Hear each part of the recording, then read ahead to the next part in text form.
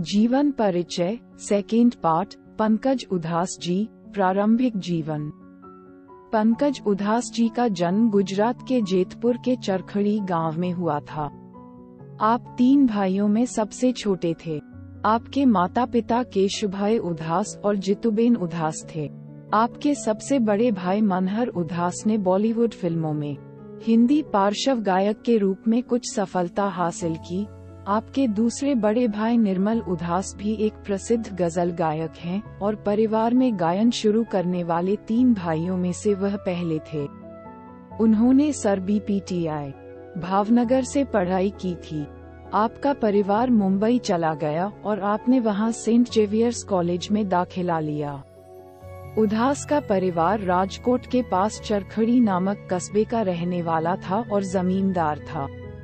आपके दादा गाँव के पहले स्नातक थे और भावनगर राज्य के दीवान, राजस्व मंत्री बने।